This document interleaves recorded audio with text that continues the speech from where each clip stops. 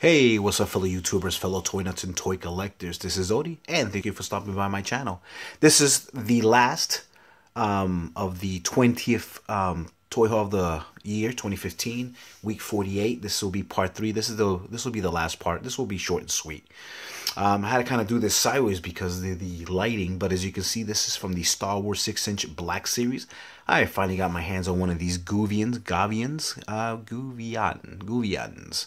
I think that's how you say it. Sounds pretty good, I guess. this is the Enforcer. Um, pretty nice. Like these are little tough to come by. People go nuts and they obviously hoard them. Um, I believe they're. Um, I mean, the back says it. I guess I can show you real quick. Um, kind of bring that down there. Yeah, so they're security soldiers of the Guvian gang uh, wear high impact armor that makes them stand out among other deadly criminals. Then I will be showing you a quick review on this. I will be cracking this open. So I guess, yeah, I will be trying to get, grab a few more, I guess, I'm assuming. I'm sure in the movie, when we go see it, um, it will it'll, you know, there'll probably be a few of them, I guess. Uh, but yeah, so there's the Guvian, number eight in the series. And I finally got my hands on the second um, um, first order stormtrooper. So I got my second one. That's pretty cool. I definitely want to grab a few more because these are great army builders. Um, there's also that new two pack that comes with. Um, uh, his name escapes me, and they don't give you pictures of the rest. of Poe comes with Poe. I believe it's Poe, right? It was Poe the the young Lando Calrissian Sunday saying, oops, spoiler, sorry. Um, that's what the rumor is. It could be bull. but anyway, um, yeah, the, the guy that uh, fl uh, flies the X-Wing, um, he comes with a version of this, but even more armored up, which is pretty badass. Um, so I definitely have to cop that. Um, so we'll see. So anyway, that was that. And then just to kind of finish off, um, I have three more cool Hot Wheels that I just didn't show on the part two video. Um, these are your red lines. And as you can see, I finally got my hand on a Nissan Skyline 2000 GTR.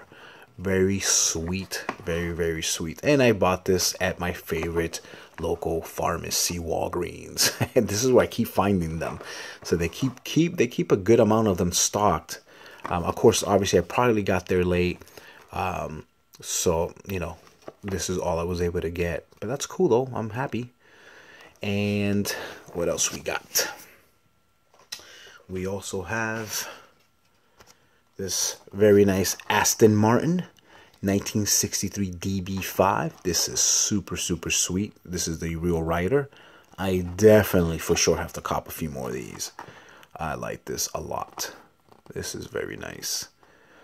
Well, maybe not a few, but just literally just one more. These are pricey.